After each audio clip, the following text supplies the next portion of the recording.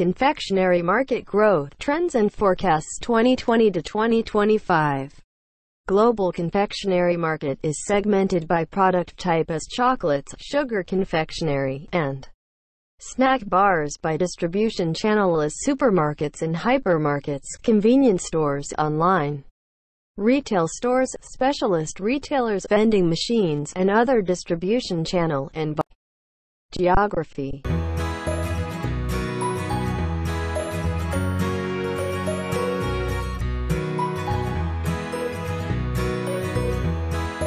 Chocolate is the most popular category dominating the market, owing to its increased consumption.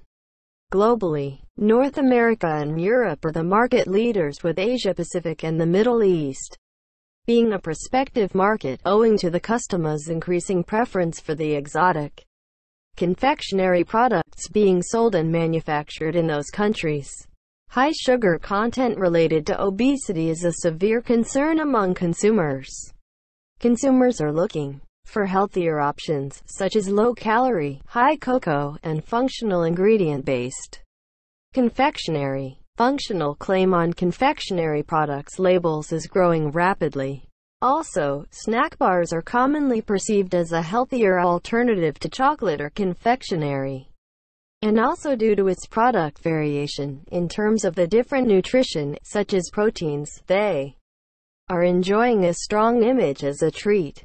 Chocolate confectionery market size to hit 145.17 billion United States dollars by 2026. Chocolate specialists such as Hershey and Nestle to focus on developing innovative offerings, says Fortune Business Insights.